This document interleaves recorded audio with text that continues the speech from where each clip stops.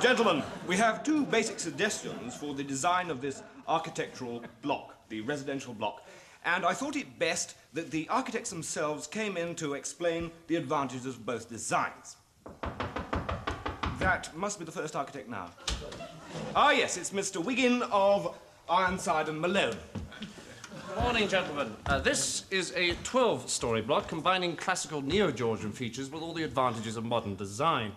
Uh, the tenants arrive in the entrance hall here, are carried along the corridor on a conveyor belt in extreme comfort and past murals depicting Mediterranean scenes towards the rotating knives. The last 20 feet of the corridor are heavily soundproof. The blood pours down these chutes, and the angled flesh slurps into these large Excuse me. Hmm? Uh, did you say knives? Uh, rotating knives, yes. Are you uh, proposing to slaughter our tenants? Does that not fit in with your